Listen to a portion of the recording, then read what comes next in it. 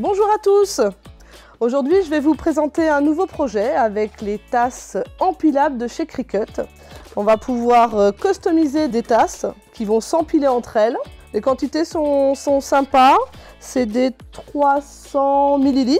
Mon challenge aujourd'hui a été de trouver un design sur chaque tasse pour pouvoir, euh, pour qu'elles se coordonnent entre elles.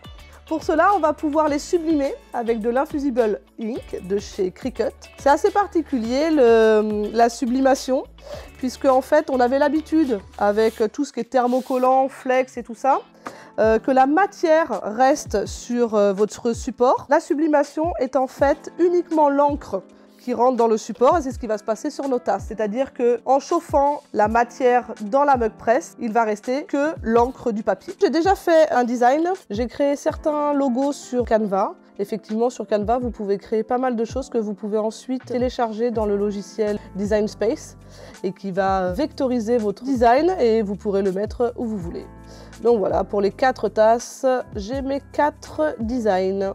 On va lancer toutes les informations au Design Space. Sur notre maker, on choisit le tapis 30 par 30 qui est adapté à ma découpe. On confirme.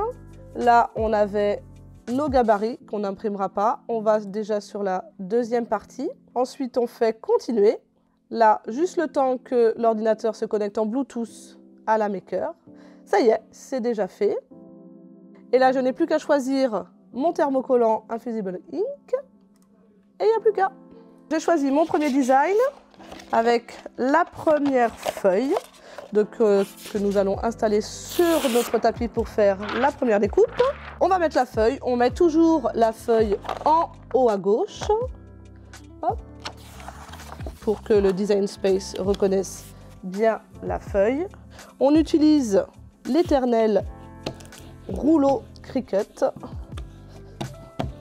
Voilà, pour qu'il n'y ait pas de bulle d'air entre le papier et votre tapis et pour que la découpe n'en soit que meilleure. On est parti pour la première découpe et la maker est prête. Elle me demande d'appuyer sur le bouton comme d'habitude.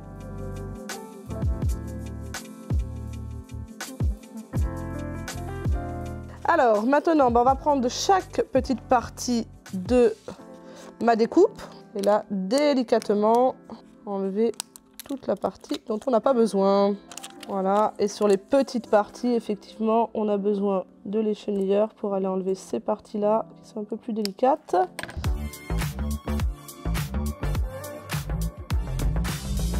Alors maintenant que l'échenillage est terminé, on va aller positionner chaque petite image sur la tasse pour enfin créer le design que j'ai créé. Donc là, ce qui va être vraiment très important, c'est que ça soit déjà bien sur la surface. On peut rajouter du scotch thermocollant et on va commencer à créer les tasses. On met une tasse l'une sur l'autre pour que l'utilisateur, à la fin, il aura des motifs qui se prolongent d'une tasse à l'autre. On a bientôt fini. Avant de terminer le dernier mug, on va allumer la mug press parce que ça prend quand même un petit peu de temps, quelques, minutes. On laisse pour le moment ouvert ici. Je viens d'appuyer sur le bouton, il est orange et les petits euh, boutons vont se mettre au fur et à mesure vert et quand elle sera prête, elle me le dira.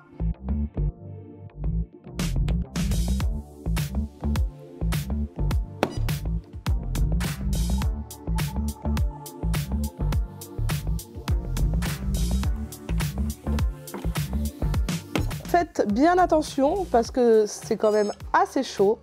Allez, la deuxième est bientôt terminée, mais la première, il suffit maintenant de bien enlever le scotch qu'on a enlevé. Et voici. Donc le tapis de chez Cricut est parfait pour ce qu'on est en train de faire, parce qu'il ne faut pas laisser ça ni sur un tapis ni sur une table. Et voilà pour la première. Hop, d'un côté et l'autre.